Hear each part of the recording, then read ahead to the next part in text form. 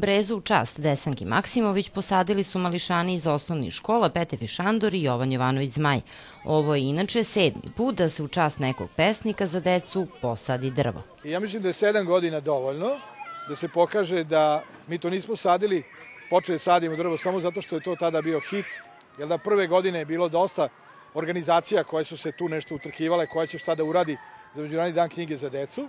Mislim da je jako važno negovati ovaj dan kao uspomenu na pisce za decu i naše pisce i da to treba uraditi na jedan nama primereni način. Zato smo se mi odlučili da sadimo drvo za jednog pesnika.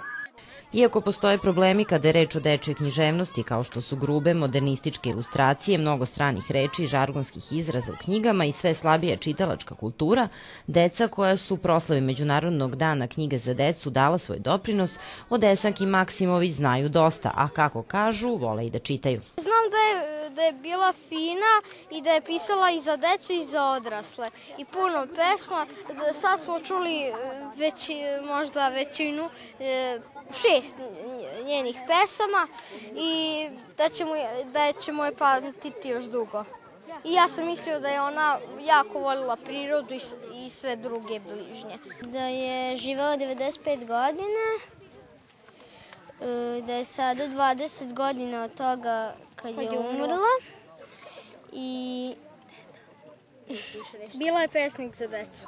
Ona je uvek pisala pesme ispod drveta. A jak? Tako se priča, da je pisala ispod nekog drveta. Drvo u Kameničkom parku do sada su dobili Pavle Janković Šole, Miroslav Nastasijević, Rade Obrenović, Duško Trifunović, Dušan Radović i Branko Andrlić Andrla. U planu je da se kada zato bude novca, pored svakog drveta postavi ploča ili tabla sa podacima o pomenutim piscima.